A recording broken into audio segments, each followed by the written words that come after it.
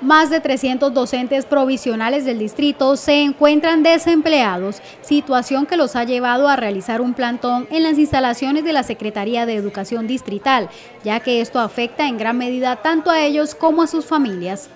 Me han dicho que hay que esperar que ubiquen a todos los profes que pasaron el concurso para ahora sí comenzar con una lista que hay de retén social, donde pues estoy yo, gracias a Dios aparezco en esa lista ya que tengo un caso de mi niña que tiene nueve meses y esto cuenta con una enfermedad huérfana, me angustia la idea de que se quede de pronto sin, la salud, ya que pues son, muchas citas médicas, ella requiere de unos tratamientos donde no pueden ser interrumpidos y es lo que en estos momentos realmente me angustia y que mi niña se quede sin, sin la salud.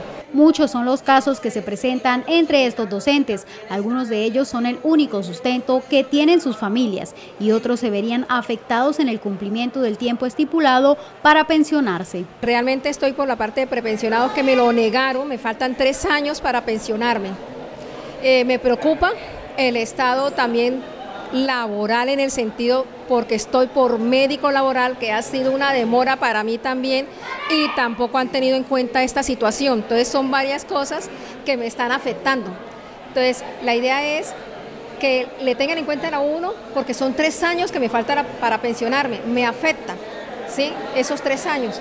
Igual uno quiere seguir, se siente bien para seguir laborando a pesar de las afectaciones eh, de enfermedad uno quiere seguir siendo responsable, cumpliendo con el deber y sobre todo en el área mía, ¿sí? poder ayudar a, los chicos. Ante esta situación, los docentes esperan ser escuchados por la Secretaría de Educación con el objetivo de buscar una solución que les permita continuar laborando y de esta forma evitar afectaciones.